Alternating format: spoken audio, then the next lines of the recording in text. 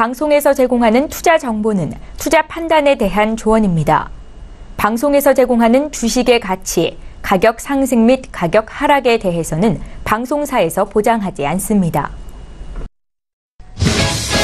시청자 여러분 안녕하십니까. 오늘장 내일장 2부 출발하도록 하겠습니다. 2부에서는 다양한 종목 이야기 준비가 되어 있습니다. 두 분의 전문가와 함께 이 종목, 전문가 한 분당 10종목씩 신규 종목으로 추천을 해드리고요. 가격 전략까지 드리는 시간 그리고 종목 상담 하단에 번호 나가고 있는데요. 100원의 정보 이용료 부과되는 샵 0082번을 통해서 받고 있습니다. 지금 보내주셔도 좋고요. 잠시 뒤에 종목 상담까지 이어가 보도록 하겠습니다. 자, 이 시각 시황 변동 상황부터 잠시 짚어보도록 하겠습니다. 코스피 지수가 2246포인트, 일단 2250포인트대로 지금 올라오질 못하고 있는 상황입니다. 18포인트 하락이고요. 저희가 시작한 지 한 36분 정도 지금 방송 어, 지나고 있는 상황인데 조금 더 빠졌습니다. 2포인트 정도 변동폭이 크진 않지만 계속해서 계단식으로 내려오고 오고 있는 상황입니다. 자, 그렇다면 어, 일중 흐름들 잠시 체크를 해볼 텐데 보시다시피 2274포인트 때부터 2244까지 그 반등 없이 그냥 꾸준하게 내려오고만 있습니다. 일단 내일에 대한 부담감도 좀 있고요. 여러 가지 어, 수급도 꼬여 있는 상황이고 전체적으로 좋지 못합니다. 수급 주체 확인해 보도록 하죠. 꼬였다고 말씀드린 그대로입니다. 외국인 680억 원 팔고요. 기관 382억 원 팔고 있습니다. 기관 가운데선 그동안 열심히 팔던 어, 지금 프로그램 매물이 지금 지속적으로 나오고 있던 금융투자 쪽은 오히려 오늘 어, 저가 매수에 들어오면서 316억 원 정도 매수하는 분위기인데 개인도 마찬가지로 하락장에서 859억 원 정도 담고 있습니다. 저 나머지 주체 모두 다 팔고 있다라는 부분 체크하셔야 될 것 같고요. 코스닥 시장 넘어가 보도록 하겠습니다. 코스닥 시장 보면 지금 2% 가까운 낙폭이 지속이 되고 있는 상황입니다. 780선도 지금 위태위태한 모습 15포인트가 넘게 빠지고 있습니다. 일중 흐름들 체크해 보도록 하죠. 보시다시피 800선 출발은 그래도 800 지키면서 출발을 했는데 이후에 급락세 연출이 됐고요. 지속적으로 빠져내려옵니다. 782포인트 오늘 저점이고요. 현재도 저점 부근에서 헤어나오질 못하고 있는 상황입니다. 수급 주체 확인해 보도록 하죠. 자, 수급 주체 보시면 외국인 기관 팝니다. 여기도 양 주체 모두 쌍끌림에도 나오는데 기관은 지금 연기금만 45억 원 사고요. 나머지 주체 소폭씩 팔고 있습니다. 외국인이 좀 많이 어, 지금 대량 매도가 나오고요. 개인이 889억 원 또 매수가 들어오는 상황입니다. 원달러 환율의 흐름 짚어보도록 하겠습니다. 원달러 환율 1119원대까지 올라왔습니다. 지금 지난 시간보다도 1원 정도가 더 올라오면서 1120원대까지 다시 터치하려는 모습 보여주고 있습니다. 금일본 방송에서 제공해드리는 정보는 투자 판단에 대한 조언일 뿐입니다. 해당 주식의 가치와 수익률 보장해드리지 않는다는 점 참고해 주시길 바랍니다. 마감 전략 바로 세워보도록 하겠습니다. 메리시종금증권 영업부 김민수 부장 연결되어 있습니다. 부장님 안녕하십니까? 네, 안녕하십니까? 지금 2시 38분인데요. 장마감 오늘도 남지 않았습니다. 얼마 하루 종일 워낙에 많이 빠졌기 때문에 시장 점검이 바로 필요할 것 같고요. 남은 시간 동안에 어떤 전략이 필요할까요? 네, 어, 자꾸 일어나면 주가가 밀리는 것밖에 못 보는 그런, 어, 좀 첨, 어, 참담한 한 주인데요. 일단 지금 흐름을 봤을 때 최근 들어서 느끼는 것 중에 하나가 신용 융자 관련된 금액들이 한 이번 주 들어서면서부터 급격하게 출회되기 시작한다는 부분입니다. 그런 상황 쪽에서 일단 시장은 아직 그 변화가 없는데 약간 두려움, 불안감이 좀 커지는 국면 쪽에서 오히려 신용융자가 빠르게 어, 시장에서 출시된다라는 부분들 때문에 밀린다라고 하게 되면 보통 경험상 이런 쪽에 대한 변화들은 어 그로 인해서 하락한 부분들은 빠르게 시장 안정만 들어오게 되면 회복하는데 그런 어떤 시장 안정이 들어올 수 있는 모멘텀이 어디서 찾아야 되느냐 이 부분이 핵심이라고 생각되고 있고요. 어, 그런 관점 쪽에서 봤을 때 일단 어 이번 주 들어서 가장 중요한 날은 내일로 보여지고 있는 상황들인데 이벤트가 이것저것 다 같이 어, 격, 어, 나와 있는 상황들이죠. 특히 어, 미국의 국무장관의 방북이라든가 또 이제 미국의 대중국 관세 부과 350억 달러 관련된 부분들 어, 확정을 짓느냐 여부고요.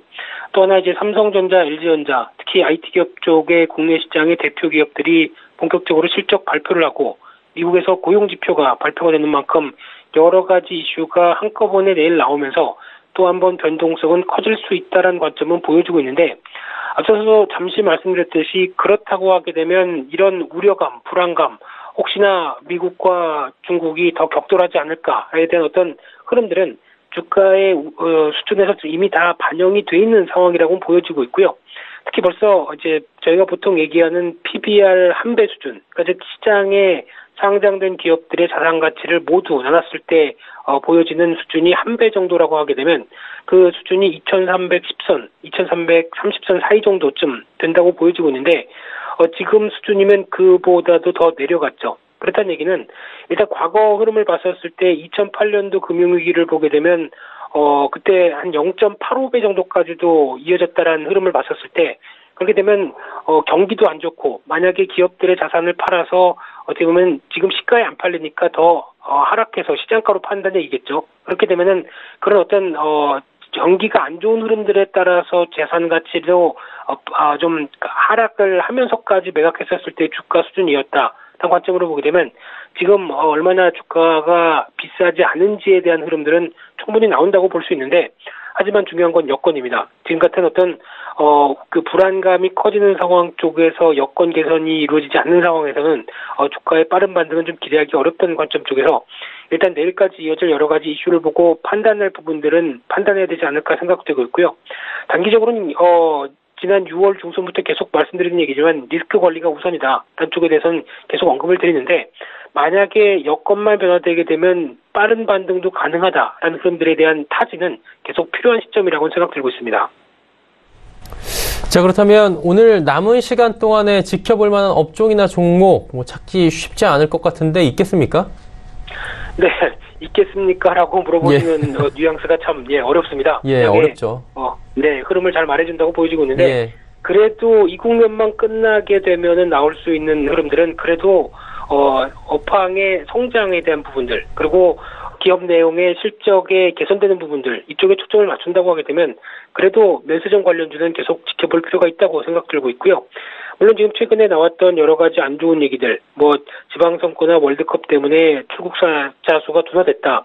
거기다가 워낙 약세다.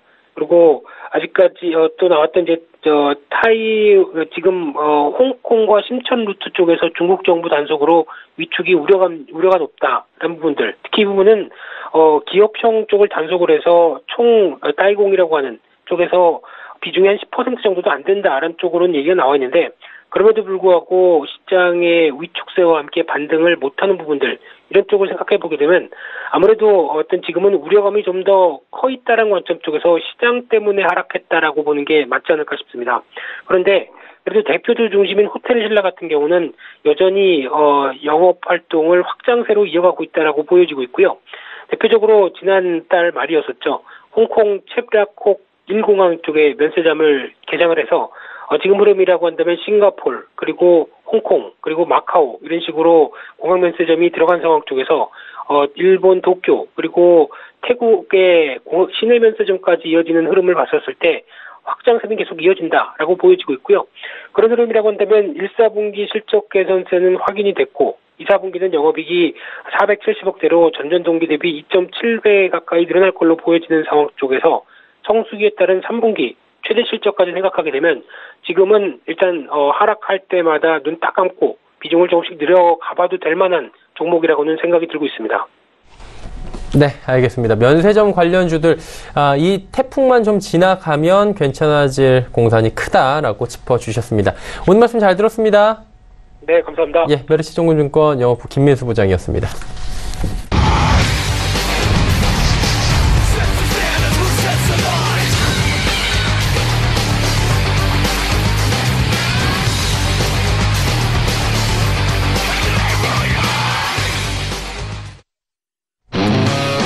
오늘 내일장 2부 함께 하고 계십니다. level up trading time 시간이고요. 어, 많은 종목 이야기 그리고 종목 상담까지 준비가 돼 있습니다. 함께 하시는 분들 바로 소개해 드리도록 하겠습니다. 하나금융투자증권 선릉금융센터 송동현 팀장, ATX의 정희진 연구원입니다. 두 분 어서 오세요. 자, 종목 이야기 바로 들어가 보도록 하겠습니다. 송동현 팀장의 오늘 신규 종목 다섯 종목씩 들어볼 텐데 어떤 종목부터 갈까요? 네, 제이준 코스메틱부터 한번 보도록 하겠습니다. 예. 지금 전반적으로 시장이 어, 굉장히 어려운 상황입니다. 어, 지금 현재 중미 무역 분쟁 이슈가 아, 거의 절정에 치달르고 있습니다. 이제 미국과 중국 내일이면 이제 관세 부과를 결정할지 어, 지켜볼 필요가 있는 그런 대회입니다. 어, 이미 중국은 어, 그 관세를 매긴다고 일단 결정을 내린 상황이고 미국도 아마도 어, 시- 이 관세를 좀 매길 예정이라고 보시면 좋을 것 같습니다. 그래서 어, 시장 자체가 내일이면 어, 재료 소멸이 뭐 돼서 좀 증시가 좀 괜찮아질 수 있다라는 말도 들리고 아니면 더 빠질 수도 있다라는 말이 보이지만 일단은 좀 더 부정적으로 보시는 것이 맞다라고 보여집니다. 어, 우선은 이제 현재적인 시황이 이렇고요. 그럼 이런 시황에서 어떤 종목을 접근하는 것이 좋으냐? 아무래도 이제 무역 분쟁을 좀 피할 수 있는 어, 그런 종목을 좀 선택을 해야겠고 그리고 좀 실적 어, 이렇게 안 좋은 장세에서도 어, 실적이 좋은 종목들은 어, 꽤나 많이 좀 괜찮아지고 있는 종목들이 있거든요. 확실히 이제 어, 시장이 안 좋을 때면 어떤 이제 실적 위주의 어떤 그 우량주 중심을 한번 보시면 좀 그 시장 대비해서 괜찮은 수익률을 거둘 수 있다는 것을 확인할 수가 있었습니다. 그러면 제이준 코스메틱은 어떠냐라고 봤을 때 어, 일단은 지금은 3%대 조정을 좀 더 받고 있는 상황입니다. 이제 가- 사드가 좀 더 점차적으로 활성화 그 해소가 되면서 중국향 마스크팩 그 매출이 큰 폭으로 상승했다라는 그런 뉴스가 있고요. 그리고 이제 중국 쪽에도 이제 인기가 많, 많을 뿐더러 이제 국내 쪽으로도 이제 공급량을 좀 확대를 할 전망입니다. 그래서 중국의 온 오프라인 매장을 확대할 뿐만 아니라 국내에서도 어, 좀 오프라인 쪽에 어떤 매출이 좀 확장이 될 것이다 보고 있고요. 이 제이준 코스메틱의 마스크팩은 또 미국의 어, 드류 베리모사와 합작을 했죠. 그래서 이제 미국 진출에도 어, 많이 현재 공급이 되고 있고 어, 시장 자체도 커진다고 일단은 어, 제가 파악을 하고 왔습니다. 그런 걸로 봤을 때 어, 현재 이 시장이 좀 빠진 이유가 아무래도 지금 면세점 관련해서 좀 안 좋은 뉴스가 좀 있었습니다. 따이공 그 보따리상이라고 하죠. 보따리상을 좀 제한한다는 그런 뉴스가 들리면서 제이준 코스메틱 역시도 어, 그 아직까지는 좀 따이공에 대한 매출이 좀 있는 편이기 때문에 그에 대해서 좀 제, 제한을 받은 것으로 판단합니다. 어, 그렇지만 어, 일단은 중국이 계속적인 소비 시장 확대하는 그런 면모를 보이고 있, 기 때문에 어, 계속적으로 조금 화장품 특히 실적이 나고 있는 이 화장품 주식 같은 경우는 좀 주목을 해볼 필요가 있을 것이다라는 것이 제 의견입니다. 그래서 이제 제이준 코스메틱 같은 경우는 또 실적도 잘 나오고 있고 어, 그리고 중국 이 어떤 소비 시장을 열면서 어, 수혜를 볼 수 있는 종목이기도 하고 어, 여러 가지 또 이제 그 미국이라든지 국내 쪽으로도 공급량이 확대되고 있다는 점을 어, 참고하셔서 참고하시면서 이 종목을 한번 살펴보시면 좋을 것 같다는 생각입니다. 두 번째는 네오팜을 보도록 하겠습니다. 네오팜은 상대적으로 더 좋은 모습을 보이고 있는데요.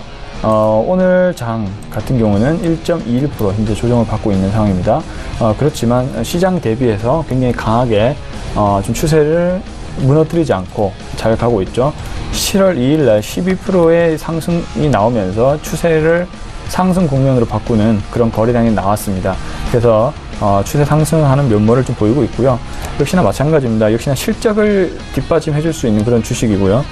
어, 네오판 같은 경우는 국내 매출만 봐도 그 6분기 연속 상승할 정도로 국내의 어떤 아토팜이라든지 리얼베리어 그리고 제로이드 MD 등 이런 국내 제품들이 굉장히 어, 잘 성장을 하고 있다라고 좀 판단, 판단이 되고 있고요.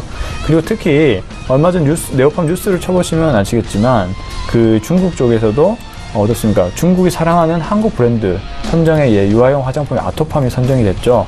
자, 그 정도로 어, 이제 본격적으로 중국 진출을 앞두고 있는데 어, 본격적으로 중국에서 어떤 매출이 나올 경우 어, 상당한 성과를 거둘 것으로 기대를 하고 있는 종목 중에 하나입니다. 그것이 일부 지금 현재 시장에 좀 반영이 되었다라고 저는 보, 고 있고요.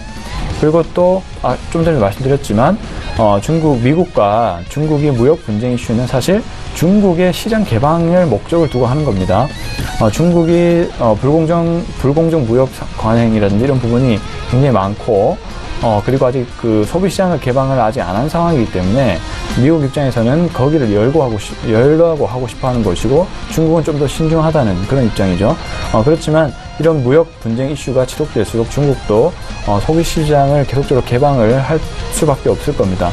그래서 최근에 중국 그 수입 화장품에 대해서 10% 어, 중국 소비세 인하를 한 이유도 이제 거기에 있다 보여지고 보여지면 될 것 같고요.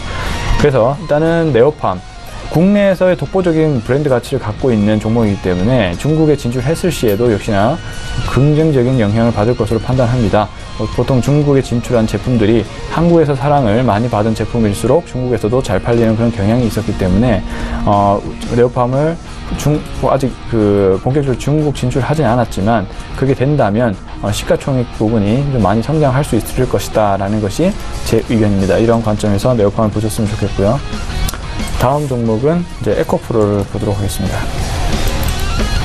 에코프로도 지금 3.2% 어, 요즘 조정세, 조정 장세를 맞이하고 있습니다. 에코프로를 말씀드린 이유는 또 실적 성장에 있어서 또 주목을 받는 그 부분이 2차 전지 그리고 어, 전기차 쪽입니다. 어, 이제 상, 에코프로가 주가가 빠진 이유가 어, 에코프로 BM이 원래 상반기 중에 상장이 예정되었는데 그 부분이 밀리면서 어, 좀 악영향을 받았고요. 지금도 시장 자체가 그렇게 질이 좋지 않, 않는 상황이기 때문에 어, 좀 주가가 밀리고 있다라고 좀 보시면 좋을 것 같습니다. 그렇지만 좀 더 중기적으로 에코프로 방향을 좀 살펴볼 필요가 있을 것 같고요.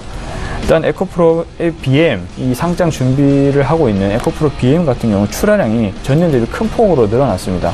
그만큼 전기차에 대한 산업 자체가 커졌기 때문인데요. 어, 이 부분이 이제 상장이 연결된다면 에코프로 주가 자체도 아주 큰 영향을 줄 수가 있는데 그 부분이 어, 좀 안 좋아지면서 어, 상대적으로 주가가 밀리고 있다라고 보시면 좋을 것 같습니다. 그리고 에코프로는 이제 유럽 특히 폭스바겐 그룹이 전기차 산업을 완전히 다 바꿀 정도로 2025년까지 디젤차로 운행을 정지시키고 전기차로 다 전환하겠다라고 한 만큼 유럽 쪽에서도 어떤 전기차의 성장 모멘텀이 좀 기대가 되는 부분이 있다라고 보여지는데요. 어, 이 부분도 이제 삼성 SDI라든지 그리고 이제 LG화학 등등이 어, 이제 파트너사로 선정이 돼 가고 있고 아직 변경될 가능성이 남아 있습니다만 어쨌든 전기차 산업 자체가 커지고 있는 상황이기 때문에 에코프로의 어, 역시나 NCA를 활용한 전기차 소재도 충분히 성장할 수 있는 관점이다라고 생각을 하고 있습니다. 그리고 중국 쪽에서도 어, 국내 기업을 좀 허용을 하면서 화이트 리스트에 등재가 됐죠. LG화학과 삼성 SDI를. 그래서 중국 시장에 대한 공략 기대감도 좀 가지고 있는 상황입니다. 참고로 에코프로 GM이라고 해서 G, 중국의 GM 기업과 에코프로가 합작해서 중국에 세웠는데 이 전구체 배터리를 생산하는 업체입니다. 또 리튬이온 배터리에 이어서 전구체 배터리가 향후에 어, 전기차 산업에 쓰일 어, 차세대 배터리이기 때문에 이 부분에 있어서도 어, 실적이 3분기부터 나아질 확률이 높다라고 판단하시면 좋을 것 같고요. 지금은 지금 시장이 너무 좋지 않기 때문에 오르는 종목도 있지만 빠지는 종목들이 더 많습니다. 어, 일단 그런 관점에서 좀 더 지켜볼 필요가 있고요. 그럼에도 시, 시장이 회복함에도 만약에 종목이 좋지 않다면 그때는 손절을 고려를 할 수밖에 없는 상황이라고 보여집니다. 어, 아무튼 지금은 여러 가지 펀드멘탈을 확인해 본 결과는 나쁜 그렇게 나쁜 결과는 없, 없는 것으로 일단은 판단하고 있기 때문에 좀 유지를 해 보도록 하겠습니다. 자 다음은 이제 카카오를 한번 보도록 하겠습니다. 어, 카카오 같은 경우도 그동안 굉장히 주가가 많이 밀렸습니다. 어, 그동안 실적이 너무 좋지 않았기 때문에 어, 그동안 주가가 계속적으로 좀 밀려왔다. 그리고 또 그러면 별다른 모멘텀이 없었기 때문에 카카오 같은 경우에 어, 주가가 16만 6천 원 고점을 찍은 이후로 어, 11만 초반까지 한, 뭐 한 6개월 정도 이상 어, 좀 밀리는 그런 결과를 보고 있는데요. 어, 지금은 좀 이제 반전이 오기 시작하고 있죠.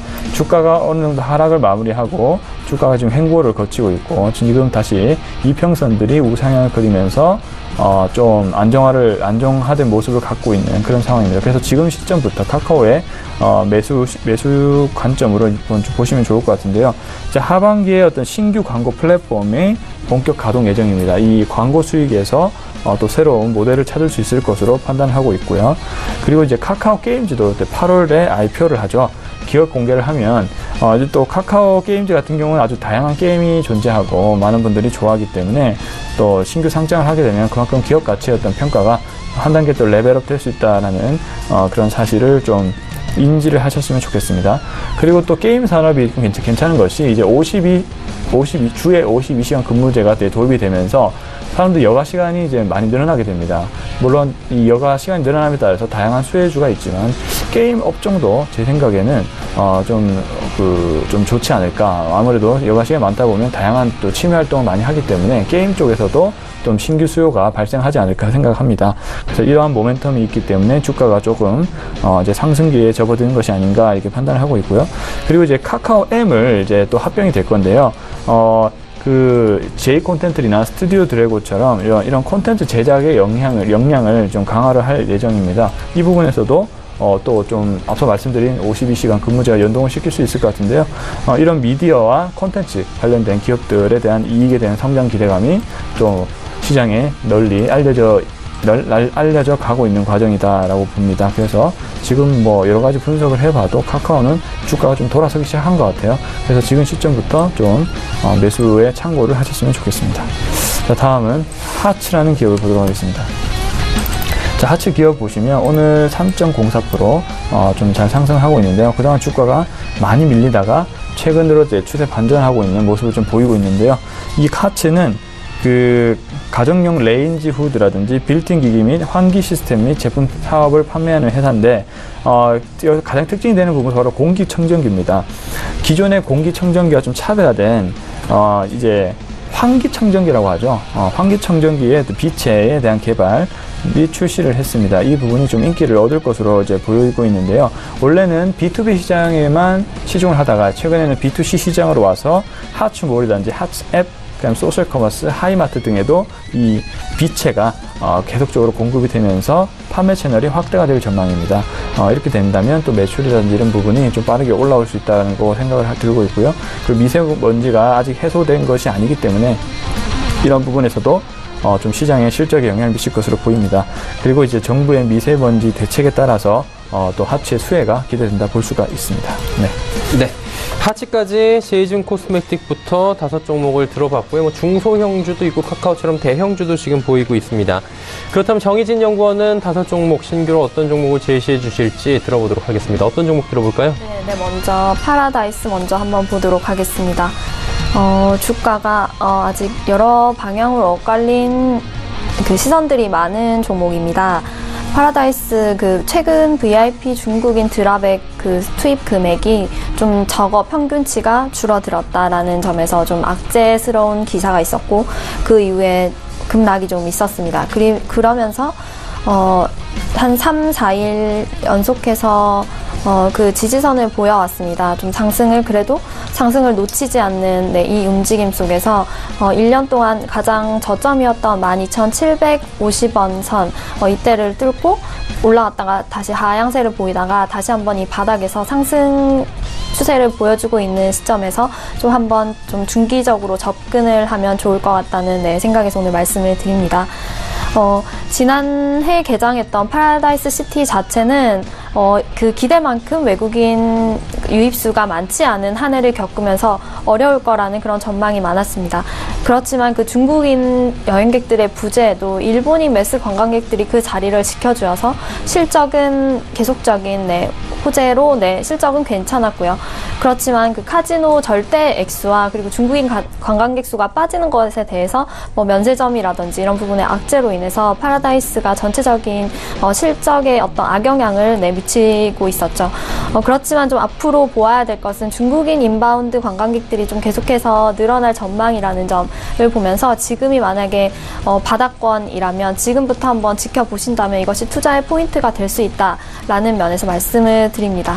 어, 이 2분기 기저효과 때문에 어, 계속해서 성장은 했으나 3, 4개, 3, 4분기에 계속해서 이 drop액과 이 매출액은 좀 지켜보아야 한다는 점에 집중을 하시면서 파라다이스 네, 좀 보시면 좋을 것 같습니다.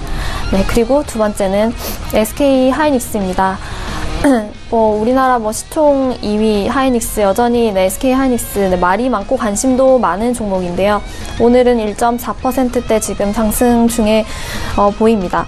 어, 먼저 그 미국의 마이크론과 중국 중미 어떤 무역 대립으로 인해서 중국의 종, 중국에서 마이크론의 수입을 막겠다라는 어, 중국의 강력한 한방이 있었습니다.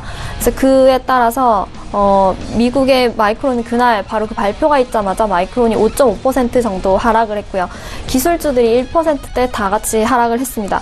그 외에도 어, 엔비디아도 2%대 하락, 뭐 대형 초대형 주인 애플도 1%대 하락을 했습니다. 그러면서 이것이 반사적으로 우리나라 SK 하이닉스에는 어, 호재가 아닐까라는 그런 분석들이 나오면서 조금 바닥에서부터 지금 천천히 상승하는 모습을 볼 수가 있는데요. 어, 이 중미의 이 대립을 조금 한번 볼 필요가 있다고 생각합니다. 중국 이렇게 이 무역 관세 부분을 좀 보면 중국은 그렇다면 7월 6일부터 당장 미국의 350달러라는 대미 수출 관세를 지불하여야 됩니다. 미국 또한 네, 피할 수 없습니다. 미국은 25% 관세를 당장 내야 되고요. 그러면서 미국산 자동차 관세 40%를 내야 하는 입장에 있습니다. 이 둘의 어떤 그런 것들은 어, 단순한 어떤 이것이 네, 길지 않을 것이라고 보고 어찌 보면 이 세계를 향한 잠깐의 어떤 이벤트 쇼라는 어, 그런 관측들도 많이 나오고 있는 이 상황에서 과연 이 우리나라의 그 가치, 그좀 결을 같이 하는 영향을 받는 이런 종목들이 어떤 방향으로 움직일 것인지를 좀 보아야 한다고 생각을 합니다. 어, 2분기 매출액은 계속해서 네, 증가 예정입니다. 그리고 3, 3분기 매출도 어, 최대 실적을 보일 것이다. 라는 그런 분석들이 많습니다. 디램 시장에는 계속적으로 호황, 이고요 낸드의 그 수요의 성장도 계속적으로 이루어질 예정입니다. 어, 그렇지만 이런 여타의 이런 환경들이 어떻게 영향을 미칠지가 바로 관건이라고 볼 수가 있는데요. 지금 현재 주가 그 펄을 보시면 4배 정도로 여전히 좀 낮은 부분에 있고요. 네, 이것을 염두하면서 투자를 하신다면 어, 조금 네, 그런 배경이 도움이 되는 배경이지 않나 생각을 하고 결정적으로는 이렇게 아직까지 어, 가격에 있어서 충분히 매력적이다라는 말씀을 드리고 싶은 네, 부분이 있고요. 좀 그 바닥권에서 좀 올라가고 있는 모습에 있어서 어, SK 하이닉스를 좀 지켜보시면 좋을 것 같습니다. 그리고 네, 세 번째는 아모레 퍼시픽입니다. 어, 아모레 퍼시픽도 2분기 그 지금 현재 다 실, 실적 시즌인데요. 2분기 영업이익이 좀 개선이 될 것으로 전망, 네, 전망하고 있습니다. 어, 그 영업이익을 보시면 전년 동기 대비해서 60% 성장한 1,600원대, 1,600억 원대입니다. 어, 이것이 적지 않은 수준이고요. 그럼에도 불구하고 어, 아직까지 방향성을 잘 모르겠다. 그 미래의 지금 실적은 알겠으나 전망이 과연 어떨까라는 관점에서 주식 주가는 뭐 아직 좀 지지부진하고 어제 오늘 이어서 3%대 이상 네 지금 좀 하회하는 모습을 볼 수가 있는데요. 어, 이 실적 개선의 방향성은 이렇게 하 반기로 갈수록 중국에 조금 달려 있다라고 보시면 될 것 같고요. 2분기 내에서는 중국 내에서 이제 직접적인 마케팅을 좀 시작을 하였습니다. 그래서 그렇게 되면서 이제 그것에 대한 효과나 그 매출이나 실적 같은 부분이 3분기에 어 바로 조금 증명이 될 것이라고 기대를 하시면서 어 3분기까지 좀 지켜볼 수 있을 만한 어 그런 부분이라고 할 수가 있습니다. 마케팅이라는 것이 그 투입 대비해서 그 효과가 언제 어떻게 나오는지 그 효과 측정이 상당히 애매하고 조금 정성적인 부분이 많이 들어가는 것이기 때문에 어 지금 당장 그것이 어 매출로 나왔다고 해서 바로 그 마케팅의 결과 결과인지도 어, 측정하는 것이 상당히 어려운 부분이 있습니다. 그렇지만 중국 현지에서 어, 핵심 브랜드인 설화수, 이니스프리 등등을 통해서 어, 중국인들의 어떤 그 민심이나 어, 반응들이 조금씩 좋아지는 것을 발견하면서 하반기에는 좀 지켜볼 만하다라고 말씀을 드릴 수가 있고요. 중국 법인 매출은 동, 전년 동기 대비해서 27% 성장을 했습니다. 어, 이 추세가 계속된다면 하반기에는 어, 작년 사드 때 있어서 그 대비해서 그 효과를 뚫고 오히려 더 큰 폭으로 매출 성장을 할 수 있는 그 기록이 나온다면 어, 지금 정도 어, 주가를 좀 지켜보시고 하반기에는 좀 기대, 이 지금보다는 훨씬 기대할 만하다라는 관점으로 어, 아모레 퍼시픽 말씀을 드립니다. 그리고 네 번째는 네, 대림 산업입니다. 어, 대림 산업 같은 경우에도 어, 국내외 건설 경기 그리고 해외 해외 사업 부분, 부분을 이렇게 좀 따로 떼어서 한번 볼 필요가 있다고 생각합니다. 국내 주택은 어, 올해 분양 목표가 약 3만 3만 주입니다. 그래서 이렇게 성, 교, 주택 부분에 있어서 성장이 전망됩니다. 하지만 이 주택의 뭐 수요와 공급은 뭐 나라의 정책, 부동산 정책과 많이 어, 이렇게 결여가 되어 있죠. 그런 부분에 있어서 어, 이것에 대한 어떤 리스크 해지를 할 수 있는 대림 산업의 어떤 사업 방향성을 좀 지켜본다고 하면 어, 해외 투자가 이 국내 건설사들이 해외 투자를 어떻게 진행을 하고 있는지 있는지를 어, 좀 같이 보아야 한다고 생각이 됩니다. 어, 그런 부분에 있어서 대림산업이 집중하는 부분이 에너지, 화학 산업 분야라고 할 수가 있습니다. 여기서 어, 글로벌 developer 성장에 있어서 좀 그 사업에 좀 집중을 하겠다라는 것이 지금 현재 대림 산업의 방향성입니다. 글로벌 developer라는 것은 그 해외 어떤 그 사업 자체를 발굴하고 운영하고 관리를 하면서 어, 그 과정에 전체를 참여하는 개업 음, 개발 사업자를 뜻하는 말인데요. 정부가 그 추진하는 develop 그 사업 PPP 사업과 그 궤- 궤를 좀 같이 한다는 그런 사업이라고 할 수가 있습니다. 그래서 지금 현재의 어떤 호재로는 어, 미국 대림산업이 미국 PTT 글로벌 케미칼 그룹과 이 여기에 미국 자회사, 미국 자회사와 함께 미국의 대규모 석유화학 단지 그 조성 산업에 투자 약정서를 네, 체결을 하였습니다. 그래서 이렇게 되면은 폴리에틸렌을 생산하는 공장을 건설해서 네, 그 운영을 하게 되는 것인데요. 단순히 공장을 새로 짓는 것에 의미를 좀 보기보다는 미국 자체 내 이런 원가 경쟁력을 가질 수 있는 생산 시설을 확보를 한다는 점. 어, 그러면 그 생산 기지를 확보함과 함께 그 회사가 운영하고 있는 어떤 수출이나 어, 내수 유통과 관련하여서도 어떤 어떤 일정 부분을 관여를 할 수가 있다라는 점에서 좀 지켜보는 것이 어, 네, 맞다고 봅니다. 그래서 이런 부분에 있어서 어, 화학 부분, 에너지 부분에 있어서 계속해서 좀 실적을 기대할 수 있을 만하다라고 보면서 지금 현재 이 박스권에서 아주 아주 어, 약한 우상향을 지금 보이고 있는 시점에서 어, 좀 중기적으로 이것도 보시면 좋을 것 같다고 생각이 됩니다. 그리고 마지막으로는 CJ 제일제당입니다. 네, CJ 제일제당. 어, 그, 현재 박스권의 하단에 있다라고 보아집니다. 계속해서 횡보 구간이, 어, 좀, 네, 좀, 금, 등락이 좀 컸었는데요. 그리고 사- 좀 사, 사영업일제 계속해서 하락하는 모습을 보이고 있는데, 어, 지금 박스권의 지금 하단이 이 어느 시- 정도에서 좀 증명이 될 것인지에 대해서 좀 지켜보면 좋겠고요. 어, 바이오 섹터를 그 중, 중심으로 해서 좀 이익 개선이 네, 전망이 됩니다. CJ 제일제당에서 무슨 바이오 섹터냐라고 말을 할 수가 있는데요. 셀렉타라고 하는 그 자회사, CJ 셀렉타 등 그 미, 어, 식품 원재료에 사용하는 어, 시- 우리가 쉽게 말하는 식품 첨가물, 네, 뭐 GMO 사업이라든지 이런 부분이 있어서 네, 바이오 산업에 어, 포함이 되게 됩니다. 어, 이 부분에 대해서 어, 우리나라뿐만 아니라 세계 전체 시장에 있어서 이 식품 첨가물 시장이 상당히 커지고 있는데 어, 원재료부터 해서 아, 마- 유통까지 모두 책임지는 CJ 제일제당에서는 우리나라의 어떤 어, 다- 단순한 내수나 어떤 완제품을 수출을 하는 것으로는 그 매출을 다 네, 이끌어 갈 수가 없기 때문에 이렇게 계속 새로운 어, 사업 합작사를 네, 합작을 하여서 이런 새로운 사업을 영위하고 있다라는 점 그리고 이 부분에 있어서 네, 지금 사업이 계속해서 어, 긍정적인 방향으로 가고 있다라는 점에서 좀 3, 4분기에 지켜볼 만하다고 네, 할 수가 있고요. 그래서 이 부분에 있어서는 어, 베트남 등 해외의 어떤 변동성이 좀 작은 시장까지 많이 이미 커버를 했다라는 점에서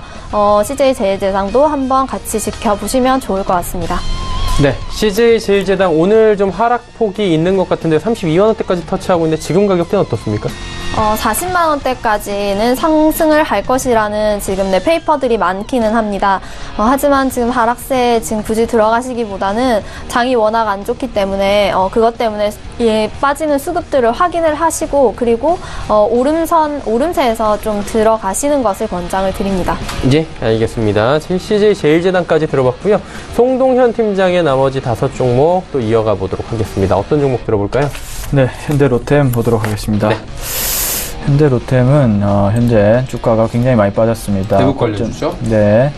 고점 대비 뭐 거의 한 30% 이상 어, 빠졌다. 38% 정도 빠진 것으로 일단 보여지는데요.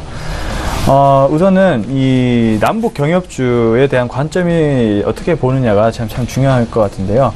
어, 일단 정부의 정책을 한번 살펴볼 필요가 있습니다. 이, 이 문재인 정부의 어떤 정책 사업 자체가 어, 남북 경협에 굉장히 많이 추진이 돼 있는 그런 계획이 돼 있고요. 그리고 뭐 제가 좀 말씀, 말씀을 드렸어요. 단기적으로는 지지부진할 수 있다라고 말씀드렸습니다. 이제 어, 북한 같은 경우도 의사결정이라는 이런 부분이 선진국이 기대하는 것처럼 굉장히 빠르거나 어, 이런 부분도 아니고 뉴스가 나왔죠. 어, 김정은이 뭐 군부가 어, 좀- 좀 통제가 안 된다 뭐 이런 식으로 얘기를 나왔습니다. 뭐 경제를 음, 경제 쪽으로 방향을 가져가려 해도 어, 노동당 신문이라든지 어, 또 다른 기타 군부가 어, 제대로 일단 어, 말을 잘못 말을 잘 소통이 안 된다 어, 이런 말을 언급을 하면서 어, 다소 어려움을 호소했는데요. 어, 어느 정도는 저 이해가 가는 대목이다라고 저는 생각을 합니다. 어쨌든 그 북한의 큰 정책 방향이 이제 개혁 개방이 있다라고 저는 보고 있거든요. 그런 관점에서 철도는 어, 좀 필수적인 어, 아이템이다라고 저는 보고 있습니다. 그래서 가장 큰 수혜를 받을 수 있는 회사가 어딘가 역시 로텐밖에 떠오르지 않습니다. 또 현대 그룹주가 있고요. 현대 현대 사 현대라는 그룹 자체가 어떤 SOC 사업의 어떤 권한을 보장을 받아 왔기 때문에 어, 가장 큰 또 수혜를 볼 것이다라고 예상이 되고 있고요. 그리고 좀 이렇게 주가가 많이 어, 계속 하락을 하고 있는 상황인데 어, 되돌림 현상이 어, 충분히 나올 수 있다라고 보여집니다. 어, 일단은 거래 대금도 굉장히 크고 어, 이 하락 구간에서도 누군가는 계속 받아먹는 그런 이제 어, 사- 그런 이제 주체들이 있거든요. 어, 그래서 조그만 또 뉴스들이 계속 나오게 된다 보면 어, 급, 금방 되돌림 현상이 나올 것이다라고 저는 보고 있습니다. 그래서 이제 이러한 규모로 어, 좀 말씀을 좀 드리고 싶고 로텐 같은 경우는 최근 또 1조 규모 정도 또 수주를 했었죠. 오늘도 그 공시가 하나 뜬 것 같습니다. 어, 일단은 어, 민자 사업 서울시와 실시 협력 체결인데 어쨌든 그 실적 성장에 다 도움을 내, 되는 그런 내용이기 때문에 그냥 일반적인 다른 뭐 테마주 성격의 철도주와는 좀 다르다 아, 이렇게 좀 말씀을 드리고 싶고요. 어쨌든 이제 좀 시장이 너무 안 좋기 때문에 어, 좀 지수의 영향도 많이 받는 것 같습니다. 이런 부분까지 참고하시고 어, 현재 좀 지수가 조금씩 올라오고 있기 때문에 어, 현재 로템도 좀 중기적인 관점에서 주목을 해보시면 좋겠다는 것이 생각입니다. 예. 다음은 현대 엘리베이를 보도록 하겠습니다. 역시 마찬가지입니다.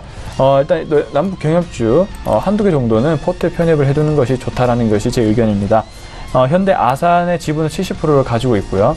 역시 그 북한과의 어떤 사업을 됐을 때 어, 가장 큰 어, SOC 권한을 보유하고 있는 것이 현대 아산이기 때문에 어, 남북 경협에 대한 뉴스가 계속적으로 이슈가 떠오를 때면 이 현대 엘리베이드의 영향을 계속적으로 긍정적으로 받을 것이다라고 저는 보고 있습니다. 어, 그런 관점에서 현대 엘리베이를 좀 중요하게 생각을 해야 될 것 같고요. 그리고 이제 남북 경협이 되면 역시 인프라 관련된 투자들이 많이 이루어질 건데 어, 관련해서 엘리베이터 또 수요도 계속 늘어나겠죠. 어, 이런 부분도 좀 쉽게 예상을 해볼 수가 있고요. 그리고 중국 쪽에서도 좀 수주를 받으려고 또 엘리베이터가 어, 많이 또 글로벌로 많이 뻗어나가려고 노력을 하고 있는 것 같습니다. 이런 점에도 좀 참고를 하셔야 될 것 같고, 어, 일단 실적 대비를 해서라도 지금 구간은 좀 많이 과도하게 빠져 있는 구간이라 보이기 때문에 뭐 valuation 매- 매력도 좀 있는 것 같고요. 어, 여러 가지 성장성 그리고 가치 이런 면에서 다른 테마주와는 좀 다르다. 그리고 현대 그룹주이기 때문에 충분히 주목을 해볼 수 있는 종목이다라고 보여집니다. 어, 다만 좀 시간적인 여유를 가지고 어, 좀 준비를 해보시면 좋을 것 같다는 생각이 들고요. 어, 일단 현대 그룹주가 또 이제 통일 펀드라고 해서 이, 이 현대 그룹주를 좀 펀드화 시키고 좀 수급이 들어가는 그런 모습도 보이고 있기 때문에 어, 현대 그룹주를 향후에 좀 계속 주목을 해볼 필요가 있다라고 보여집니다. 이런 관점에서 어, 현대 엘리베이도 좀 참고를 하셨으면 좋겠고요. 다음은 SK 하이닉스 보도록 하겠습니다. SK 하이닉스는 역시 지수의 영향을 많이 받고 있습니다. 그렇기 때문에 어, 주가가 어, 좀 밀릴 수밖에 없는데 그래도 어, 주가가 떨어진 거에 비해서 하이닉스는 굉장히 방어를 잘 해왔죠. 오늘도 1.29% 상승을 하고 있습니다. 그만큼 실적이 어, 좋다라는 의미로 받아들이면 좋을 것 같, 같습니다. 2분기 실적은 다소 좀 부진합니다. 뭐 이런 부분들은 다 시장에 반영이 되어 있는 부분이고 시장이 주목하고 있는 부분은 이제 3분기로 어, 시장이 좀 더 옮겨지고 있다라고 보여집니다. 어, 환율 효과도 있기 때문에 좀 보시면 좋을 것 같고요.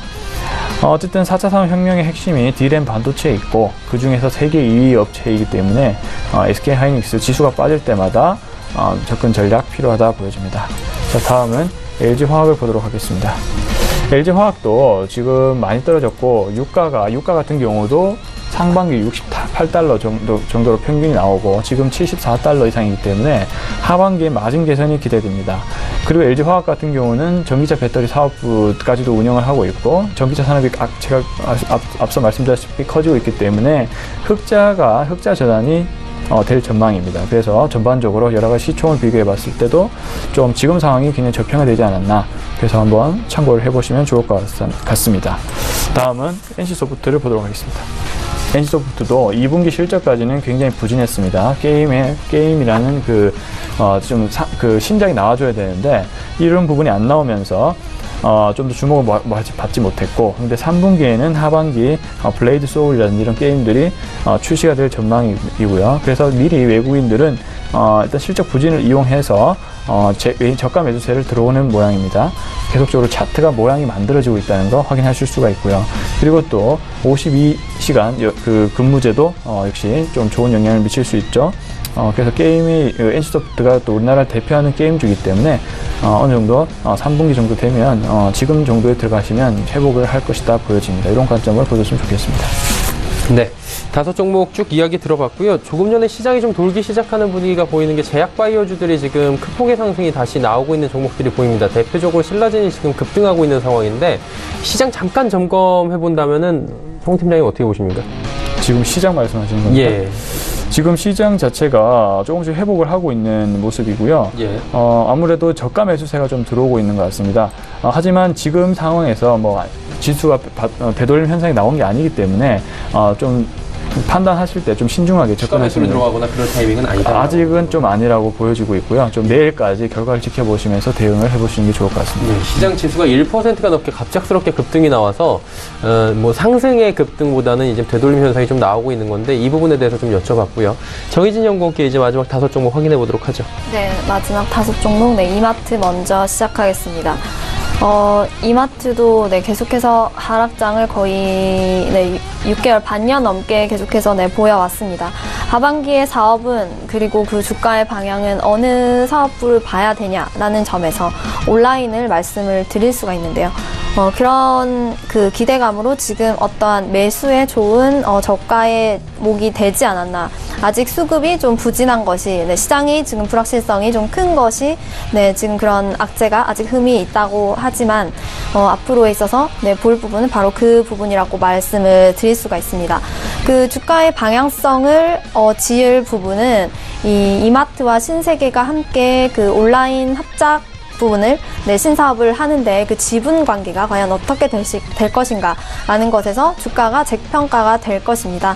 어, 그치만 아직 그 지, 그 지배 관계, 그 구조의 관계는 알 수는 없지만 만약 아, 성, 사업을 계속 하게 된다면 어, 온라인 사업 부분에서 계속 지속해왔고 성공의 경험이 있는 이마트에서 좀 우위를 점하고 어, 좀 경영권을 리딩할 것이라고 판단하는 점에서 어, 이마트에게는 앞으로 하반기에 있어서 큰 호재가 될 것이다 어, 라고 판단 말씀을 드릴 수가 있습니다. 그래서 지금 충분히 주가 조정을 받아왔고 지금 상승하는 충- 측면에서 어, 시장만 조금 따라준다면 그것이 좀 주가로 크게 반영이 될 가능성이 있다라는 점에서 오늘 말씀을 어, 드리는데요. 그래서 온라인 사업에 대한 구체적인 어떤 전략 발표가 하반기에 있을 것입니다. 그래서 그것이 반영되기 전까지는 좀 기대감으로 갔다가 즉시 어, 좀 주가에 크게 반영이 될 것이라고 저는 기대를 하고 있다는 부분에서 어, 최근에 있었던 조금 하락하는 무슨 어, 부분은 어, 그 5월, 4월, 5월, 6월에서 그 연휴나 징검다리 휴일들이 참 많았습니다. 그러면서 식품에 있어서 매출이 좀 빠졌는데요. 어, 아무래도 어, 외식을 한다거나 이런 그런 이유 때문에 식품 소비가 어, 어떤 그 계절적이고 그 휴일 특성상 어, 좀 줄어들었던 모습 그런 부분에 있어서 좀 실적이 음, 매출이 식품 부분에서 떨어져서 어, 였다고 말씀을 드릴 수가 있고요. 어, 앞으로의 좀 방향성은 오프라인 매출보다는 온라인 사업에 집중이 되어 있고 어, 신세계와의 그, 그 신사업에 있어서 지분 관계를 가져가는 그 퍼센트 거기에 집중을 좀 해야 된다라는 식, 네, 설명을 먼저 드립니다. 그리고 두 번째는 KTNG입니다. 어, KTNG가 요즘 장이 어려움에도 계속 꾸준히 상승을 하고 있습니다. 어, 네, 지난 거의 한 달 가까이 조금씩 조금씩 아주 꾸준하게 어, 바람직하게 오른 모습을 볼 수가 있는데요. 어제 오늘 조금의 조정이 나오고 있긴 하지만 어, 계속해서 네, 오름세인 것을 알 수가 있습니다. 어, 먼저 국내 내수 시장 좀 점유율이 정상화되었습니다. 이 부분에 있어서 어, 그 점유율이 정상화되었다라는 것은 그 담배 판매하는 담배와 홍삼을 판매하는 회사에서는 네, 당연히 호재가 되는 부분이고요. 어, 그러면서 어, 편의점 비중을 50%에서 100%까지 네, 늘리겠다라는 그런 구체적인 계획을 내놓았습니다.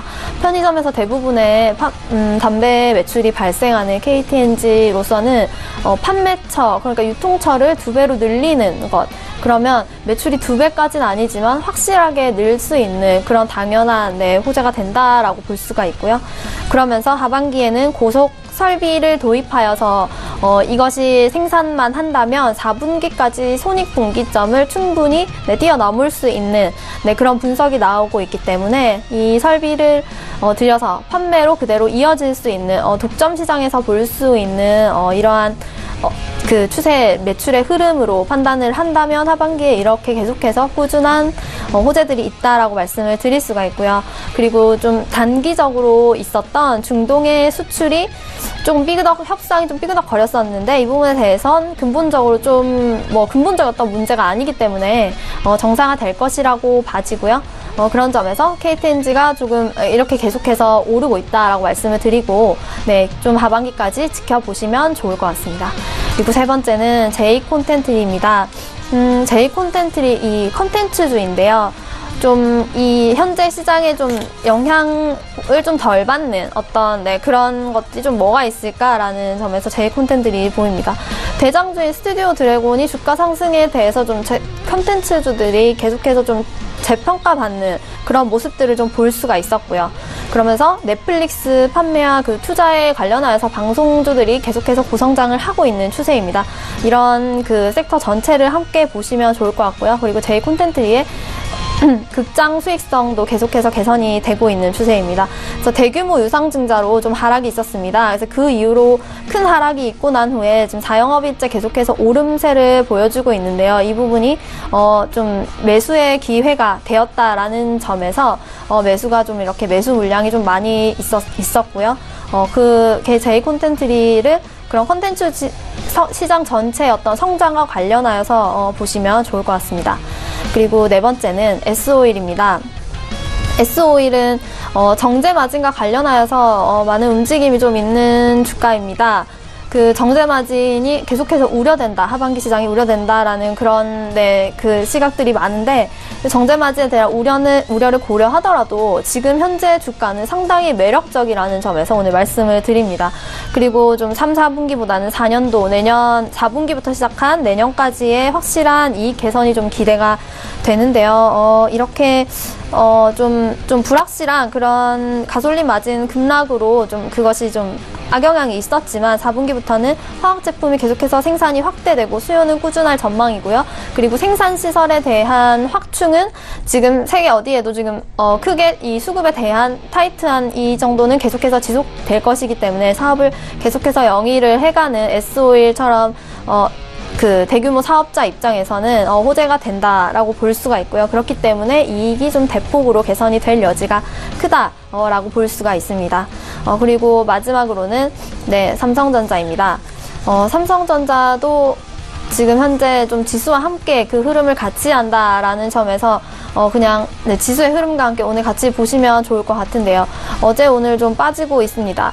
하지만 음, 그 실적 자체는 양호할 것으로 판단이 됩니다. 어, 하지만 코스피 그 전체 시장의 하락세를 좀 막기에는 역부족이다. 어, 지수 전체를 좀 보아야 한다 하는 점에서 삼성전자 말씀을 드리고요. 어, 강달러 그리고 무역 전쟁 등이 이 대불확실성 자체를 우리나라 증시 자체가 불안할 것이 다. 그 외국인들 입장에서는 우리나라 저, 그 나라 자체의 어떤 리스크함에 있어서 어, 그 확신을 갖지 못하게 하는 그런 큰 요소가 된다라는 점에서 지금 현재 가격 매력도는 충분하지만 그런 움직임들이 어, 대, 대외적 시각들이 그렇다고 지금 네 말씀드리고 싶고요. 어, 지금 현재 그 바이오 쪽으로 약간 수급이 이렇게 몰리는 것들을 볼 수 있으면서 어, 아직까지 그런 저렴한 뭐 좀뭐 뭐 매력이다 가격적으로 매력적이다라는 것에는 이렇게 스팟적으로 수급이 몰리고 있다라는 점에서 개인 투자자들도 계속해서 이렇게 투자처를 눈을 돌리고 있다라고 있지만 삼성전자는 좀 지수적으로 좀 같이 네, 접근을 해 보시면 좋을 것 같습니다. 다섯 종목 쭉 살펴봤습니다. 이제 단기 접근 종목들 살펴봐야 될 텐데 지난주 잠시 보면 RF 제약에 대해서 단기 접근해봤는데 홍 팀장이 어땠습니까? 네. 아, 텔콘 같은 경우는 예. 좀이 바닥권에서 좀 돌리는 흐름이 나왔는데 갑자기 급락이 나와버렸습니다. 이때 악재가 터졌는데요. 이 최대 주주 엠마우스 측에서 원래 그 손실 보존에 대한 부분에 계약이 돼 있었는데 이런 부분을 약간 변경을 했습니다. 리스크 보존에 대한 조건 변경이 나오면서 어, 추가적으로 어, 좀 주가가 이제 하락을 했다라고 좀 볼 수가 있, 겠고요 그래서 이제 손절 대응을 어, 하는 것이 좀 바람직해 보이, 보이고 좀 더 주가가 탄력이 그러니까 시장이 좀 더 회복을 하거나 흐름이 좋아진다면 다시 재접근할 수 있는 그런 전략이 필요해 보입니다. 예. 그럼 이번 주엔 단기 접근 어떤 종목이 좋을지 들어보고 싶은데요. 어떤 종목 들어볼까요? 예, 네오팜을 좀 말씀드리고, 싶, 네오팜이요? 말씀드리고 싶, 예. 습니다 우선 오늘 조정이 좀 나왔고, 어, 앞서 말씀드린 것처럼 7월 2일 날 좋은 거래량이 나왔고, 그 이후에 추세를, 5일선이 무너지지 않으면서 추세를, 좀 추세적으로 상승을 하고 있다는 것을 볼 수가 있습니다. 어, 일단 실적이 괜찮게 나올 전망이고요. 그 다음에 중국발 호재가 좀 시장에 이 종목에 영향을 미칠 것으로 보입니다. 그래서 차트도 정별 배기, 정별 초기 상태고 기관에 대한 수급도 계속 나오고 있다는 점. 그래서 좀 오늘 매수가 종가로 좀 들어가 보셨으면 하는 바람이 있고요. 목표가를 62,000원, 손절가를 55,000원으로 잡고 대응을 해보도록 하겠습니다. 네오팜 오늘 매수가 종가로 단기 접근 괜찮아 보인다 해주셨고요. 정희진 연구원님 지난주에 저희가 봤던 종목이 배럴이었는데 어떻습니까? 어, 그때 그날 종가 정도로 들어가셨다가 4% 정도, 네, 한 3영업일 뒤에 4% 정도 상승을 하였다가 다시, 어, 하락, 네, 하는 모습을 보였습니다. 그래서 좀 많이 단기적으로 접근을 하셨 다면 어느 정도, 어, 수익, 을 보시고 나오셨을 수 있고 그리고 나서 지금 현재 이 바닥권을 확인하면서 올라오고 있는 차트의 모습을 볼 수가 있는데요. 어, 대표적으로 여름 그 단기적인 수혜주라고 말씀을 드렸으니까 그 spot적으로 어, 좀 접근을 하셔서 하시면 좋을 것 같고 지금 어느 정도 좀 많이 떨어진 모습은 어, 약해진 수급에 지금에는 굳이 들어가지 마시고 또 다시 어, 상승 이 바닥권에서 다시 상승 모멘텀으로 조금 네, 머리를 들 때 그때 들어가시면 좋을 것 같습니다. 네. 그리고 오늘 말씀드릴 종목은 파라다이스입니다. 어, 예. 네, 파라다이스가 어, 지금 3영업일 이상 좀 꾸준히 양봉을 보이고 있습니다. 그래서 지금 단기적으로 접근하기에는 조금 무거울 수 있다고 생각이 되는 부분이 있습니다. 그래서 17,000원 말씀을 드리는데요. 아까 말씀드렸던 대로 중국인 여행객 수가 계속해서 늘어갈 전망입니다. 그리고 확실한 7, 8월 이런 어, 휴가 시즌에 돌입을 했습니다. 그래서 이 기간 동안 어, 단기 차익에 대한 부분, 아, 단기 어, 이익 실현이란 부분에서 좀 집중을 할 거고요. 그래서 손절가 16,500원으로 좀 짧게 가지고 간다면 현재 이 박스권에서 어, 크게 벗어나지 않는 수준에서 어, 작은 어, 10%대 정도, 5에서 10%대 정도 보시고 어, 1차 목표가 18,700원 정도로 어, 단기 접근해 보시면 좋을 것 같습니다. 예, 파라다이스 단기 접근 추천을 해 주셨습니다. 시간 관계상 오늘 바로 어, 예상 체결지수 들어가 봐야 될 것 같은데요. 코스피부터 만나보도록 하죠. 자, 코스피 지수는 2255포인트대입니다. 일단 2250포인트대는 회복을 하는 모습이고요. 어, 0.45% 하락 마감 예상이 됩니다. 일중 흐름도 체크해 보도록 하죠. 자, 보시다시피 2270포인트대부터 2244포인트대까지 빠졌다가 장 후반에 조금 살아나는 모습입니다. 저점 대비해서 한 11포인트 정도 현재 올라온 상황인데 수급 주체 만나보도록 하죠. 보시면 기관이 매수로 전환을 했습니다. 기관이 348억 원 순 매수해주고 있고요. 기관 가운데서 금융투자의 매수가 어, 전체적으로 유효합니다. 개인의 매수 물량 오히려 줄었고요. 외국인은 1,043억 원까지 매도 물량 쌓았습니다. 시가총액 상위 종목들입니다. 일단 삼성전자 낙폭 줄였고요. SK하이닉스는 상승폭 늘렸습니다. 셀트리온 3% 하락, 삼성바이오로직스도 2% 하락 기록됩니다. 다음 6위부터 12종목들 살펴보도록 하죠. 포스코, 현대차 둘 다 올라가고 있고요. LG화학, KB금융도 올라갑니다. 네이버만 약보합권 수준 유지합니다. 다음 살펴볼까요? 코스닥 시장입니다. 코스닥은 793포인트 저점 대비해서 그래도 많이 회복한 모습인데 일중 흐름들 체크해 보도록 하겠습니다.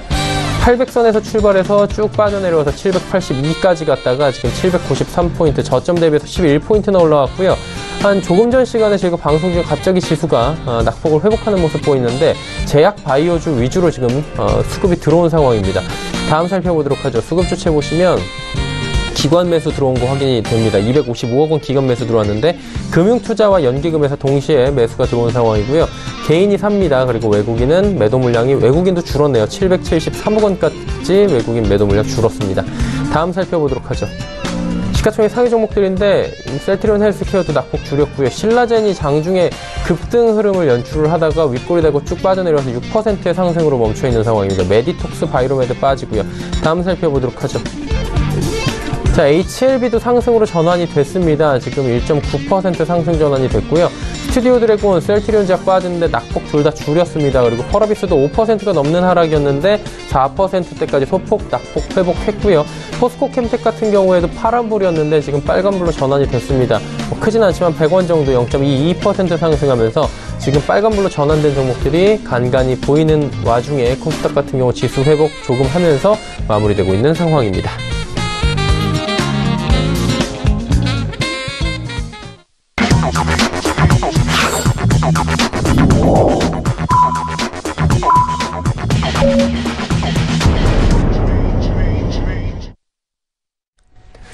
자, 목요일장이 모두 마감이 됐습니다. 일단은 뭐 오늘도 급락장 연출이 됐고요. 쉽지 않은 장세입니다. 이번 주 내내 들어서 비슷한 흐름을 보이다가 오늘 같은 경우에 장 후반에 회복이 제대로 되지 않은 모습들을 보이고 있는데 장에 대한 이야기 좀 나눠보도록 하겠습니다. 송동현 팀장이 어떻게 보셨습니까? 네, 우선은 어, 코스피, 코스닥 둘 다 불안한 모습을 현재 계속 보이고 있습니다. 그 이유는 이제 중미 무역 분쟁이 또 내일 1차 관세 부과 결정 시점이 다가왔기 때문이고요. 어, 그렇기 때문에 시장 상황은 변동성이 많이 있을 수밖에 없는 어, 그런 상황입니다. 또 내일 중요한 이벤트들이 또 많다는 점도 어, 시장의 변동성을 좀 키우고 있습니다. 뭐 예를 들면 어, 1차 관세부가 이게 가장 클 것으로 보이고요. 또 삼성전자 실적 발표도 있, 있을 것이고 그다음에 FMC 회의록 의사록도 이제 공개가 됩니다. 이런 이제 다양한 큰 이슈들이 있기 때문에 좀 변동성이 다소 커지고 있는 상황이다. 이렇게 조심 보시면, 보시면 좋을 것 같고요. 어, 우선은 예상대로라면 이제 둘 다 두 국가 모두 관세를 부과하면서 좀 저, 서로 물러서지 않는 모습을 좀 보일 수 있을 거다라고 보는, 보는 보고 있습니다. 그렇게 되면 추가적으로 시장이 좀 더 빠질 각오를 하고 있, 는 것이 더 좋을 것 같고요. 어, 하지만 이 문제가 언젠가는 해결이 될 문제입니다. 어, 이게 트럼프의 어떤 정치 성향 이런 부분이 가장 크게 영향을 미치고 있고 11월 중간 선거가 있는데 아무래도 어, 한 2개월 전인 한 9월쯤에는 뭔가 시각의 변화가 생기지 않을까 이렇게 생각을 하고 있고 그래서 그 바닥 시점은 7월 말 혹은 8월 초부터 그 일어날 수 있는 그런 관점이 좀 있다라고 저는 보고 있기 때문에 어, 다소 어, 시장 상황은 전, 절대로 펀드멘탈적으로 약한 상황은 아닙니다. 미국은 계속적으로 경기가 확장 국면에 있는 상황이고 그 흐름을 어, 유럽이라든지 신흥국도 다 어, 받을, 받을 수 있다라고 저는 보여지기 때문에 어, 좀 더 하락 국면이 예상이 되지만 어, 좀 더 잘 인내력을 발휘해서 어, 좀 어려운 시장을 잘 견뎌냈으면 좋겠습니다. 네. 정희진 연구원은 어떻게 보셨는지 궁금하네요. 어, 네, 맞습니다. 먼저 이런 대외적인 어떤 그런 움직임에 어, 고래 싸움에 새우 등 터지는 격에 지금 우리나라 어떤 상황을 네, 표현할 수가 있고요. 어, 결론적으로는 잘 해결될 것이라고 보입니다. 좀 트럼프식 어떤 그런 협상의 그런 모습으로 인해서 지금 네, 좀 큰 그런 이슈들이 무섭게 터져 터지고 있지만 사실상 트럼프는 11월 중간 선거가 있고 시진핑의 입장에서는 네, 그 중국의 정책 정치 특성상 그런 중간 선거나 뭐 어떤 그런 것들이 필요가 없습니다. 그러면 어, 중국은 여유로운 사, 상황, 어, 어떤 그런 트럼프의 어떤 그런 특성에 의해서 어, 합의점을 찾아갈 수밖에 없는 상황이고 그렇게 된다면 어, 우리는 현재 좀 내수나 실적이 좀 확실한 종목들을 어, 집중을 하면서 지금 뭐 큰 투자를 하기보다는 어, 좀 관망할 필요가 있다라고 보아지고요. 어, 그런 점에서 좀 전체 시장을 함께 보는 어, 그런 시각이 필요할 것 같습니다. 네, 어, 시장에 대한 이야기 향후 전망들까지 간략하게 전해주셨습니다. 하나금융투자증권 설릉금융센터의 송동현 팀장, ATX의 정희진 연구원과 함께했습니다. 고맙습니다. 자, 마감지수 체크합니다. 코스피부터 만나보도록 하죠. 코스피 같은 경우에 하락했습니다. 0.35% 하락하면서 2257포인트대 거래를 마감했는데 그래도 낙폭을 좀 줄였네요. 코스닥 시장도 살펴보도록 하죠. 저점 대비해서 많이 올라왔습니다. 0.62% 하락하면서 794포인트대 거래를 마쳤습니다. 원달러 환율 짚어보도록 하죠. 원달러 환율이 4원 10전 올라가면서 1118원 60전에 거래를 마치면서 이 거래일 만에 다시 상승 흐름으로 전환을 했습니다. 자, 오늘 장의 이슈 짚어드리도록 하겠습니다. 헌터스 경제연구소의 김진석 소장입니다.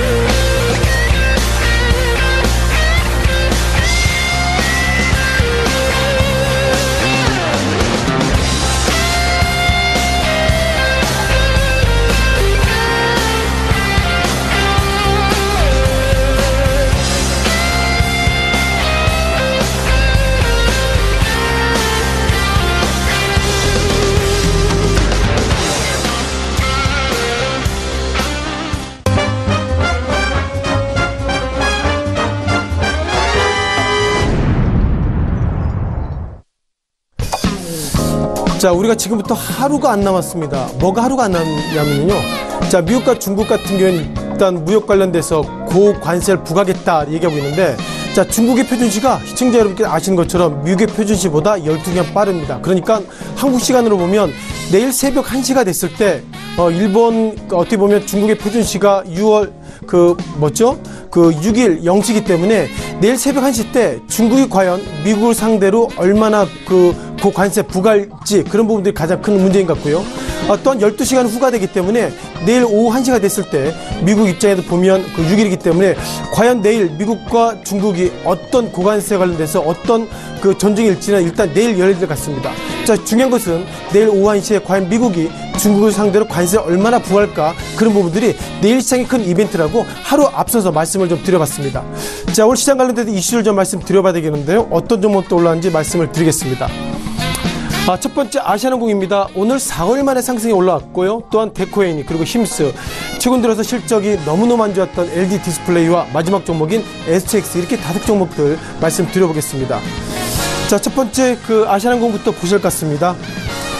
아신 것처럼 최근 들어서 항공주가 상당히 좀 어렵습니다. 뭐 지난 시기에는 조양호 회장이 그 사과를 했지만 이번에는 어, 박삼구 금호 아시아나국 회장이 어저께 사과했는데요. 자 어제 사과 이후에 오늘의 주가가 1.9% 상승했는데 어, 주가 상승할 만큼 그렇게 그 상황은 녹록지 않습니다. 아시는 것처럼 어, 기본적으로 그 아시아나국 관련돼서 직원들이 어, 집회 신고했습니다. 집회 신고 일자가 내일이고요.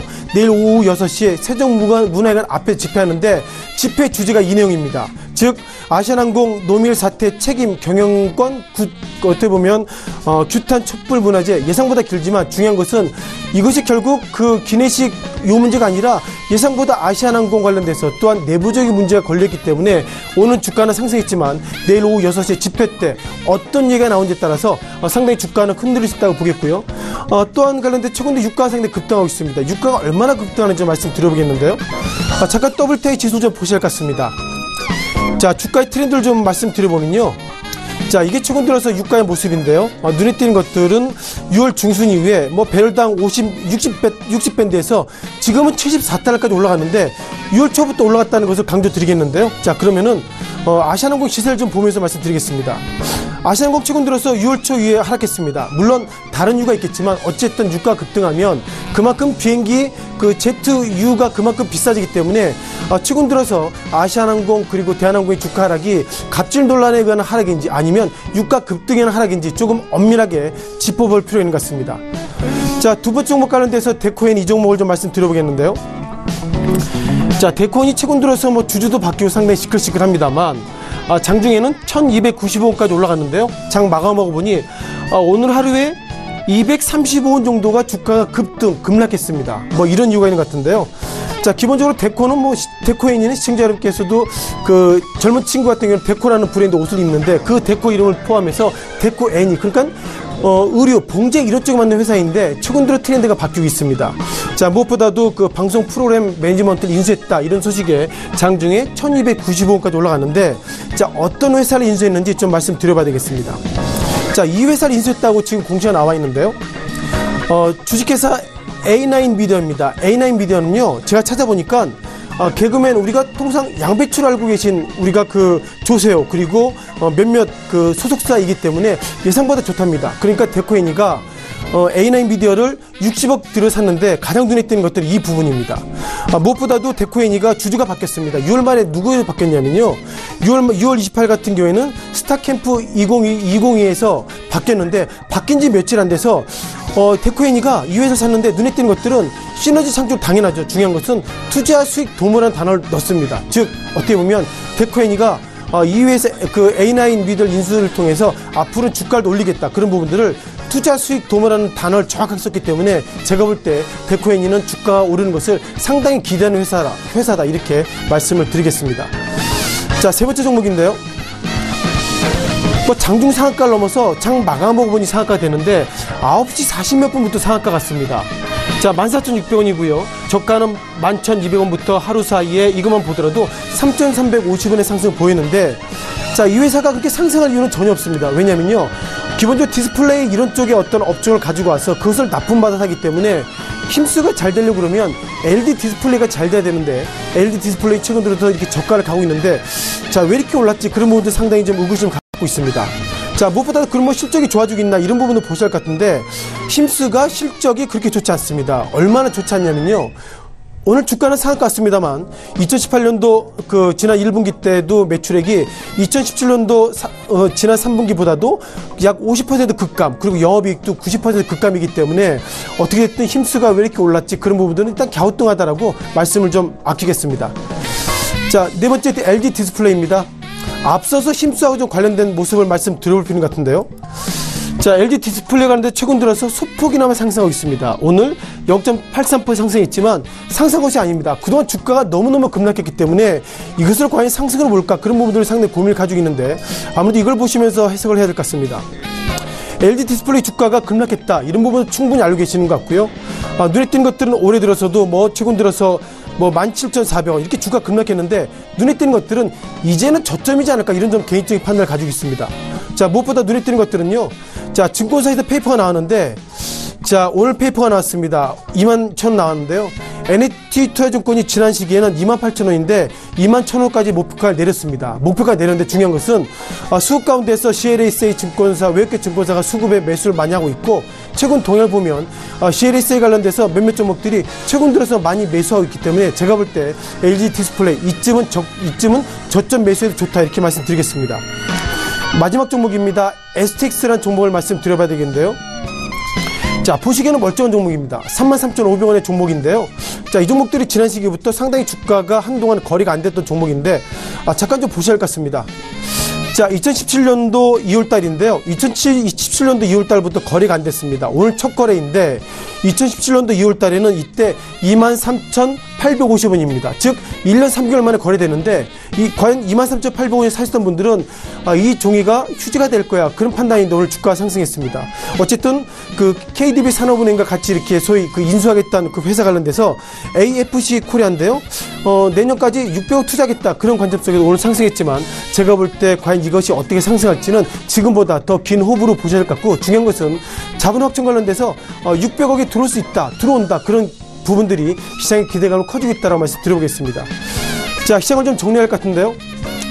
앞서 강조드렸던 것처럼 내일 새벽 1시 그리고 내일 오후 1시가 되면 중국과 미국이 관세 관련된 입장을 발표되기 때문에 과연 내일 오후 1시에 과연 미국이 어떤 폭탄을 터뜨릴까 그때까지 어, 오늘 시장은 걱정하지 마시고 내일 중국과 미국 시장을 보시면서 대응하시는 것이 좀 더 적절한 판단인 것 같습니다. 중요한 것은 불확실성은 내일 오후 1시가 되면 해소될 것이다 이런 관점으로 오늘 시장의 다섯 개 종목들 말씀을 드렸습니다.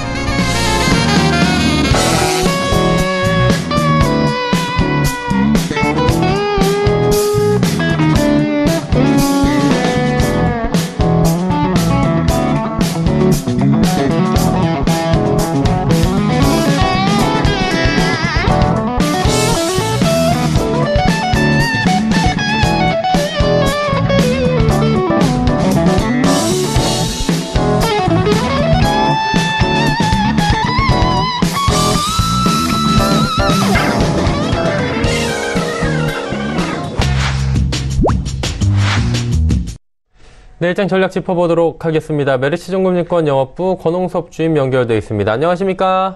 네, 안녕하십니까? 예, 오늘 장도 뭐 결국에는 하락 마감을 하면서 계속해서 사람 지치게 만드는 그런 장세인데 오늘 장 정리 한번 다시 한번 해주시고요. 내일장 전략 함께 들어볼까요?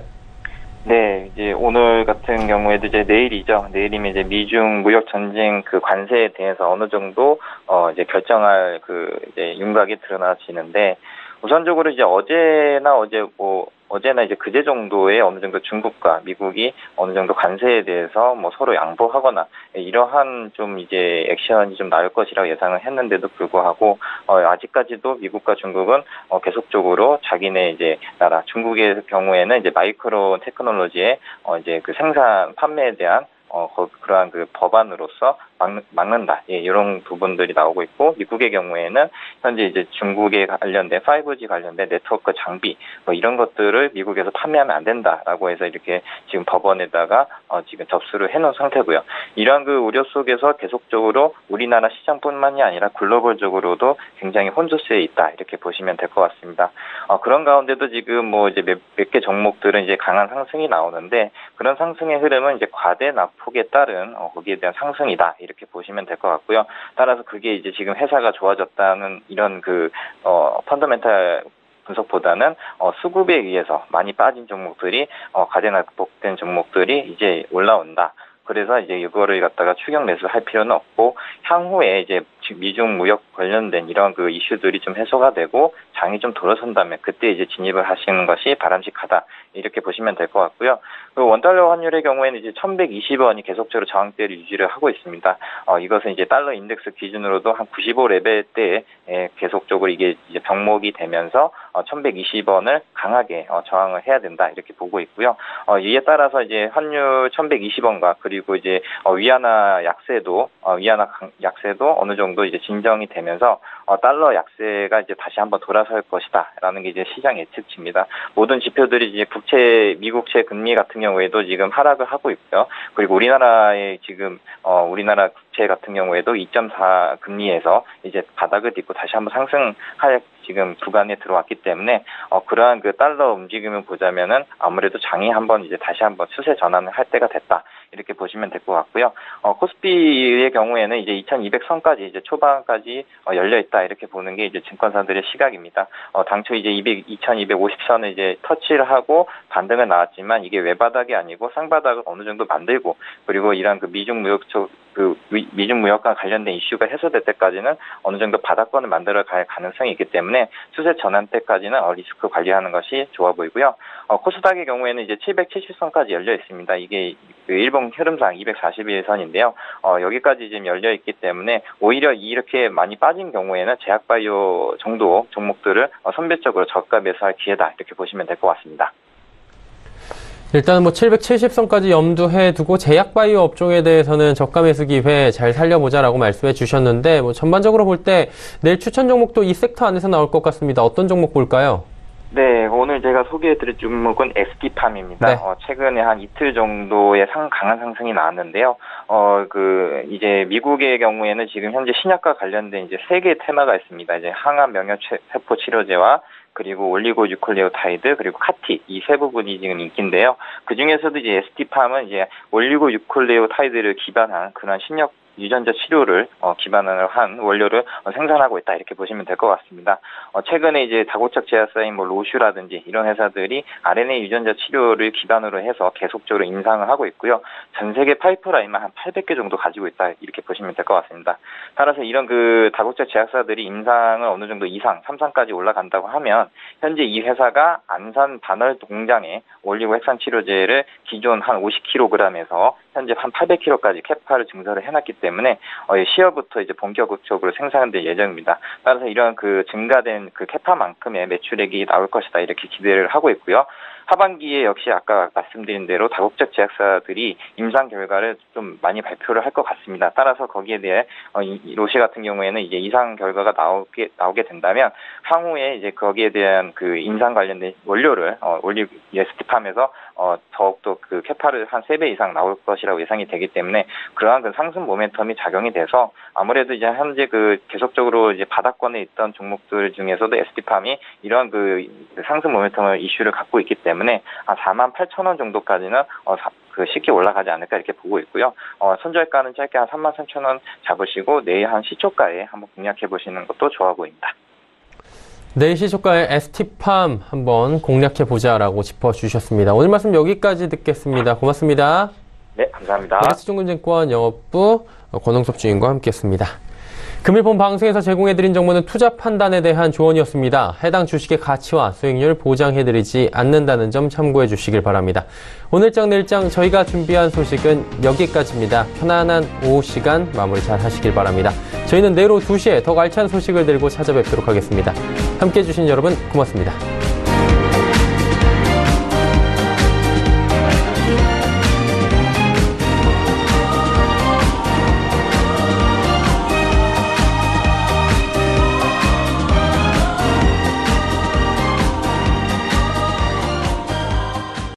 방송에서 제공하는 투자 정보는 투자 판단에 대한 조언입니다. 방송에서 제공하는 주식의 가치, 가격 상승 및 가격 하락에 대해서는 방송사에서 보장하지 않습니다.